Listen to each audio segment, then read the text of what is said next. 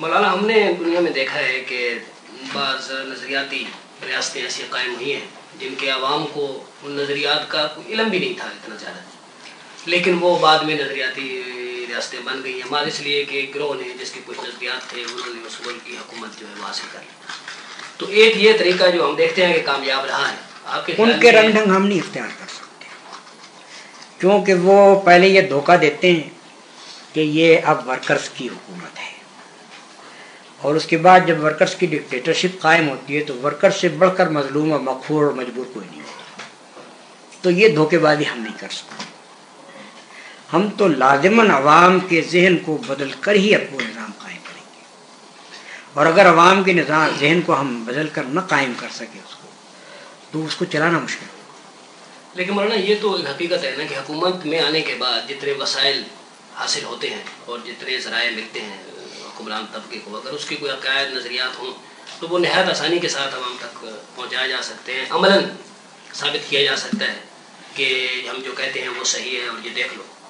तो वो ज़्यादा मौसर तरीका नहीं होता है बजाय इसकी कि सिर्फ़ तबलीग और किताबों और इस ज़रिए से ही काम किया जाए। तो इकतदार के ऊपर पहुँचने के लिए कौन सा रास्ता आप तजवीज़ करेंगे? यानी एक नेक मकसद के लिए आखिर जिहाद भी हो। मिसाल के तौर पर इस इस्लामी तारीख में हम देखते हैं। जिहाद भी होता रहा है, कोई और तरीका भी हो सकता है। ये तो सियासी लीडर के सोचने का काम है कि क्या तरीका हो। न कि यानी जिस मुल्क में हम रहते हैं, इस मुल्क में इसके सिवा कोई चारा नहीं है कि जमहूरी तरीक़ों से यहाँ इनकलाब लाया जाए। और हम ये समझते हैं कि ख्वाह कितनी मरतबा यहाँ डिक्टेटरशिप कायम कर ली जाए। उसको कभी इस्तेकाम नसीब नहीं होगा, वो बार बार फेल होगी और आखिरकार जमहूरियत के ही पर यहाँ का निज़ाम चलेगा और उसके लिए हम लोगों के जहन को तैयार करते रहेंगे। हम ये समझते हैं कि आम लोगों का जहन अगर इस्लामी हुकूमत के निज़ाम को बर्दाश्त करने के लिए तैयार न हो और वो ज़बरदस्ती ऊपर से लाकर उन पर मुसलत की जाए तो इस्लामी हुकूमत नहीं चल सकती और दूसरे किस्म की हुकूमतें चल सकती हैं। मगर इस्लामी हुकूमत नहीं चल सकती। इस्लामी हुकूमत एक ईमानदार मुआशरा, एक खुदा तर्स मुआशरा चाहती है। अगर एक बदयानत माशरा मौजूद हो और उसके अंदर इस्लामी कवानी नाफिज किए जाएँ तो आप अंदाज़ा कीजिए क्या हशर होगा उसका। उसको चलाने वाली पुलिस बेईमान, उसको चलाने वाले कारकुन रिश्वत खोर, उसके अदालतों में आकर शहादतें देने वाले झूठी शहादत दें तो उसके बाद आप समझिए कि इन इस्लामी कानून को हम खिलौना बनवाएँगे। मोहल्ला एक बात तो इससे मेरे जहन में आई कि इस इस्लामी हुकूमत के क़्याम के लिए जो अज़म किया हिंदुस्तान के मुसलमानों ने, उसको तकमील तक पहुँचाने यानी रियासत को हासिल करने की कोशिश बावजूद हिंदू और अंग्रेज़ की मुखालफत के सात साल में तकमील को पहुँच गई और उसको रूबामल लाने के मामले में आज 26 साल तक हमारा जहन भी, हमारी अक्सरियत का आमादा नहीं हो सका कि उसको उसके लिए वो एक ऐसी तहरीक चले जो उसे इकतदार में ले आए। इसके इसबाब आपके नज़दीक इसके इसबाब ये हैं कि मुसलमानों को जिस चीज़ ने अपील किया था वो जज्बात को हरकत में लाने वाली थी। और मुसलमानों के जज्बात आसानी से हरकत में आ गए इस्लाम के नाम पर। लेकिन उसके लिए जिस दिमागी और जहनी काबिलियत और तैयारी की ज़रूरत थी, वो मफकूद था।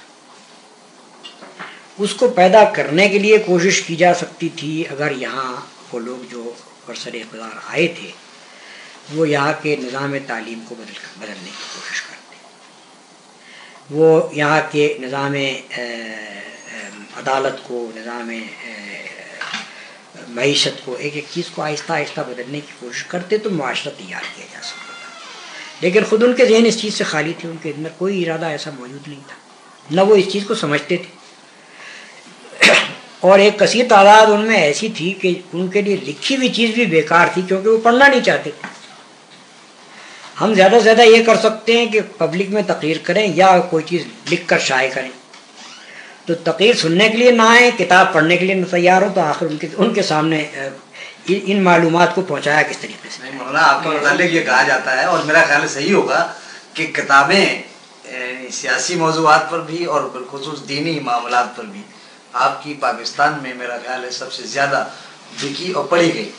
जी हाँ अब ये तरह उस तबके में पहुँच रही है जो हमारा बालाई तबका है, वरना पहले उस तबके में नहीं जा रही सिर्फ़ मुतवसित तबके में जा रही अब बालाई तबके में पहुँच रही एक बात तो मुझे याद है कि गालिबन ऐसा हुआ था कि जमात से मुतलक किताबों और अखबार की तरसील बाज़ इलाकों में, बाज़ शोबों में एक मरल पर हुकूमत ने रोकी।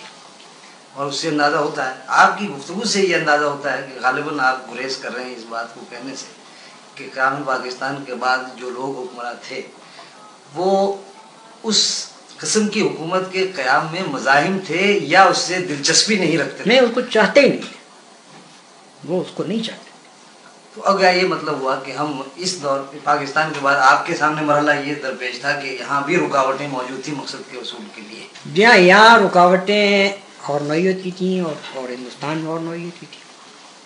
यानी हिंदुस्तान में कुफार से सबका था, या उन मुसलमानों से सबका था कि जो इस्लाम पर नहीं चलना चाहते। अच्छा तो उसके बाद यहाँ हुकूमतें, हम अगर गिन लें तो कम अज़ कम छः बदली। पहली एक नौजादा लियाकत अली खान की वजारत उज़मा के ज़माने में थी।